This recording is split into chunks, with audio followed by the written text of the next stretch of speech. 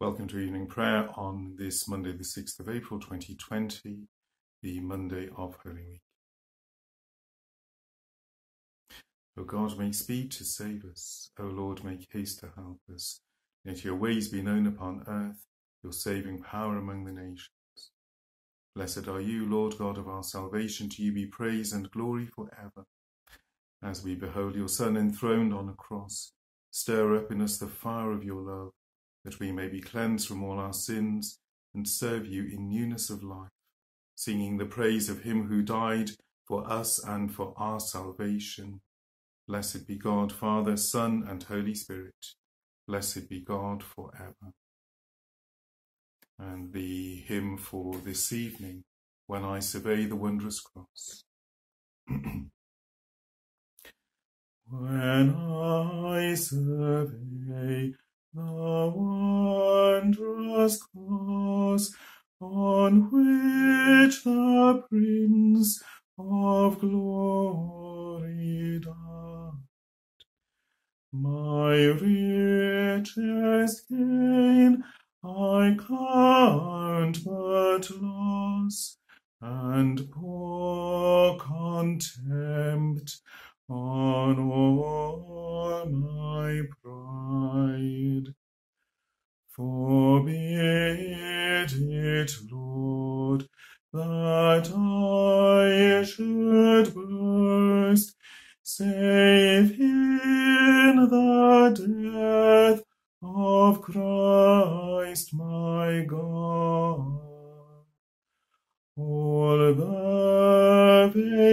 things that charm me most, I sacrifice them to his blood. See from his head, his hands, his feet, sorrow and love flow mingled down. Did e'er such love and sorrow meet, or thorns compose so rich a crown? His dying crimson like a robe spreads o'er his body on the tree. Then am I dead to all the globe, and all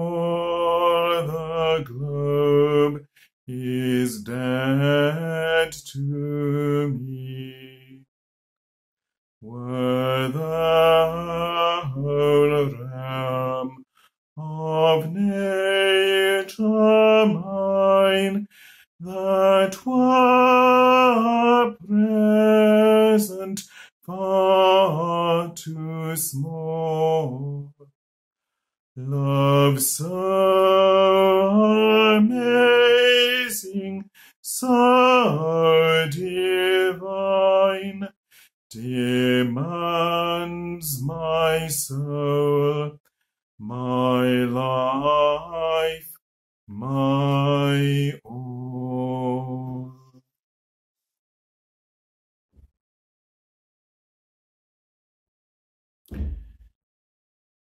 this evening may be wholly good and peaceful, let us pray with one heart and mind.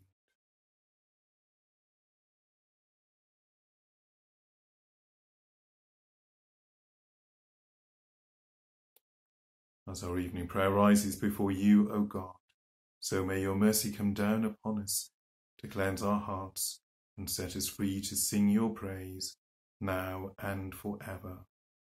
Amen. The psalm appointed for this evening, Psalm 25. To you, O Lord, I lift up my soul, O my God, in you I trust. Let me not be put to shame Let not my enemies triumph over me. Let none who look to you be put to shame, but let the treacherous be shamed and frustrated. Make me to know your ways, O Lord, and teach me your paths. Lead me in your truth and teach me, for you are the God of my salvation. For you I have hoped all the day long. Remember, Lord, your compassion and love, for they are from everlasting. Remember not the sins of my youth or my transgressions, but think on me in your goodness, O Lord, according to your steadfast love. Gracious and upright is the Lord, therefore shall he teach sinners in the way. He will guide the humble in doing right, and teach his way to the lowly. For the paths of the Lord are mercy and truth to those who keep his covenant and his testimonies. For your name's sake, O Lord, be merciful to my sin, for it is great. Who are those who fear the Lord? Them will he teach in the way that they should choose. Their soul shall dwell at ease, and their offspring shall inherit the land. The hidden purpose of the Lord is for those who fear him, and he will show them his covenant. My eyes are ever looking to the Lord, for he shall pluck my feet out of the net.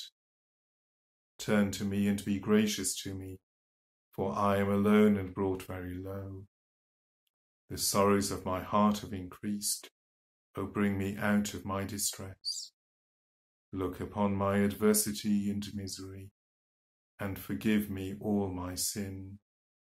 Look upon my enemies, for they are many, and they bear a violent hatred against me. O keep my soul and deliver me.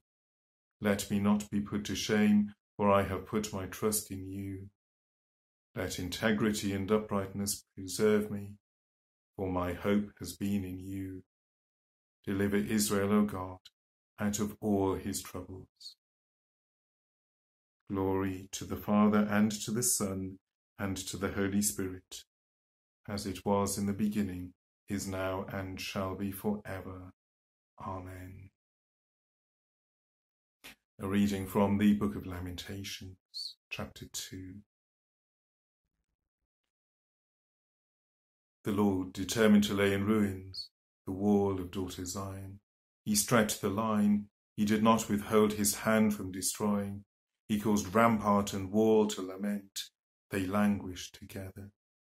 Her gates have sunk into the ground. He has ruined and broken her bars. Her king and princes are among the nations.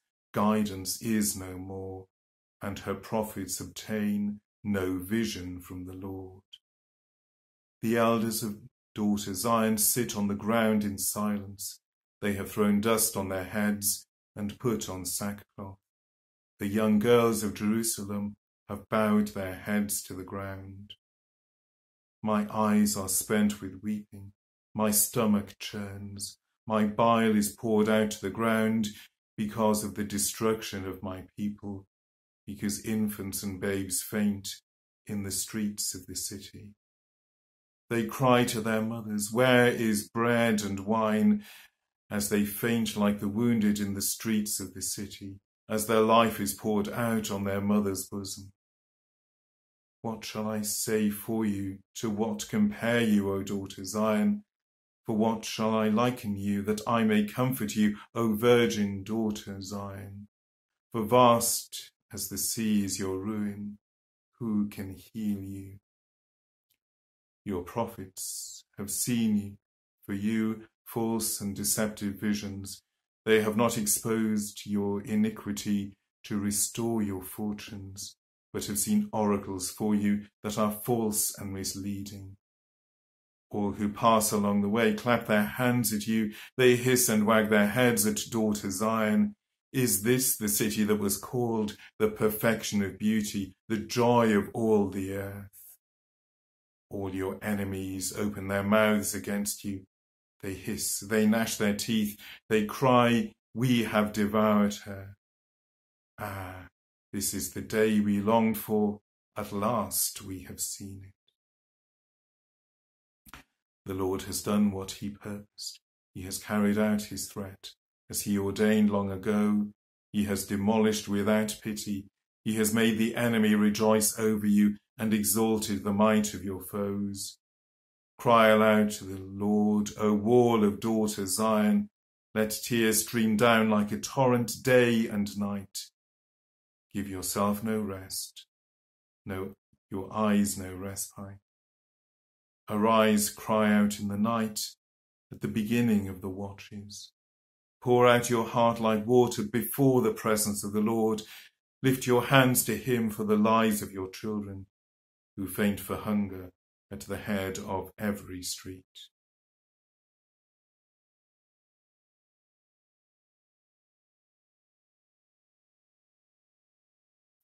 Here ends the first reading. And our canticle is the song of Christ's glory. At the name of Jesus, every knee shall bow. Christ Jesus was in the form of God, but he did not cling to equality with God. He emptied himself, taking the form of a servant, and was born in our human likeness. Being found in human form, he humbled himself, and became obedient unto death, even death on a cross. Therefore God has highly exalted him, and bestowed on him the name above every name, that at the name of Jesus every knee should bow, in heaven and on earth and under the earth, and every tongue confess that Jesus Christ is Lord, to the glory of God the Father. Glory to the Father, and to the Son, and to the Holy Spirit, as it was in the beginning, is now, and shall be for ever. Amen. At the name of Jesus, every knee shall bow.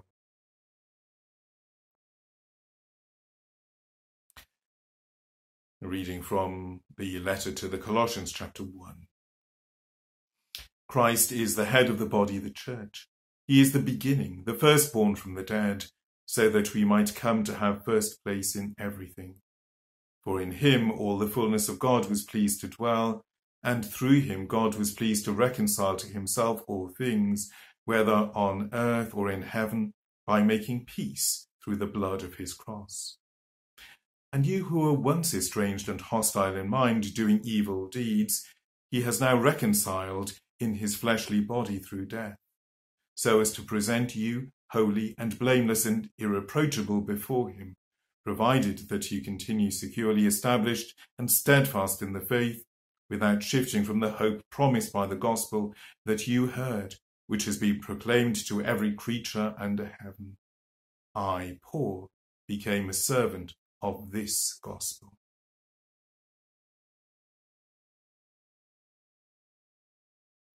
Here ends the second reading. And the responsory. We adore you, O Christ, and we bless you. By your holy cross you have redeemed the world. Christ committed no sin, no guile was found on his lips. We adore you, O Christ, and we bless you. He himself bore our sins on his body, in his body on the tree, that we might die to sin and live to righteousness. By your holy cross you have redeemed the world. By his wounds you have been healed. We adore you, O Christ, and we bless you. By your holy cross you have redeemed the world. God's love for us is revealed in that while we were yet sinners, Christ died for us. Magnificat.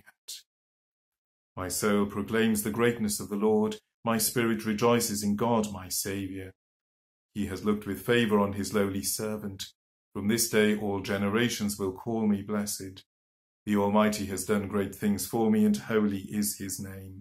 He has mercy on those who fear him from generation to generation. He has shown strength with his arm, and scattered the proud in their conceit, casting down the mighty from their thrones, and lifting up the lowly. He has filled the hungry with good things, and sent the rich away empty. He has come to the aid of his servant Israel, to remember his promise of mercy the promise made to our ancestors, to Abraham and his children forever. Glory to the Father, and to the Son, and to the Holy Spirit, as it was in the beginning, is now, and shall be forever. Amen. God's love for us is revealed in that while we were yet sinners, Christ died for us. So we come now to our prayers of intercession. So we pray for the church throughout the world. Our prayers are asked today, especially in the Anglican cycle of prayer, for the Diocese of Meru in Kenya, for its Bishop Charles, for the Diocese of West Malaysia in the province of Southeast Asia, for its Bishop Ng, for the Diocese of Idaho in the Episcopal Church of the United States, for its Bishop Brian. We are also asked to pray in the St. Asaph Diocese for St. Garmon's Church, the Pilgrim Church in the Tanat and Vyrnwy mission area, praying for its continued ministry, especially to young families. We pray for the work of this diocese, for the work of the church throughout the world. We pray especially for Gregory, the Bishop of St. Asaph, we pray for this mission area of Wrexham, for all those who live in the town, for all those who proclaim the good news of salvation, for those who hope, hold out the hope of peace and of resurrection. Lord, in your mercy, hear our prayer. Heavenly Father, we pray for those who rule the nations of the world, we give thanks for our Queen. We pray for our government, praying especially for the Prime Minister at this particular time, praying for him in his illness, praying for those around him, and praying for those who are working with the government for the good of the people of this country and for the good of people across the world. Lord, in your mercy, hear our prayer. Heavenly Father, we pray for those who are key workers in today's world, for those who continue with our food supply, for those who serve our needs, for those who work in the health service, for those who work in so many different spheres of our lives, for those who keep us safe,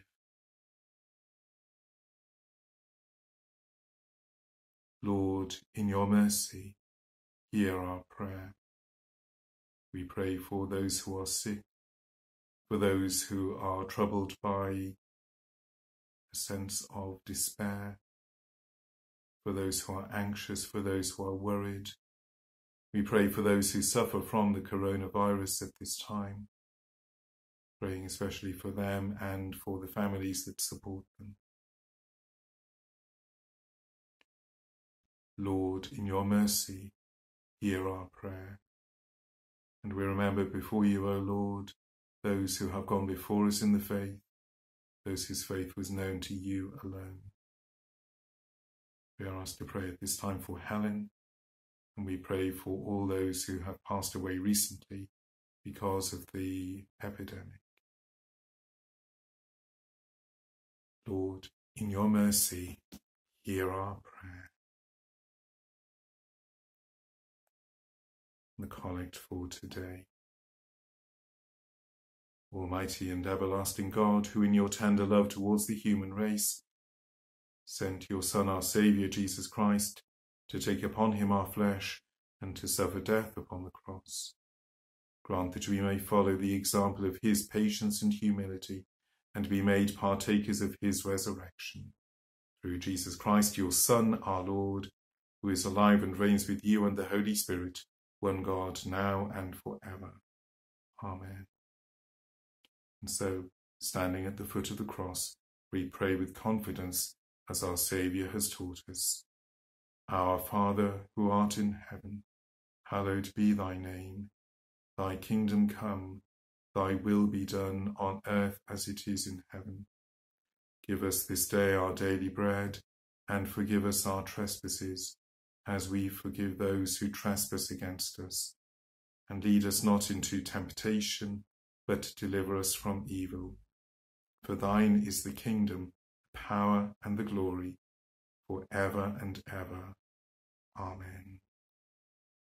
May Christ, who bore our sins on the cross, set us free to serve him with joy. Amen. Let us bless the Lord. Thanks be to God.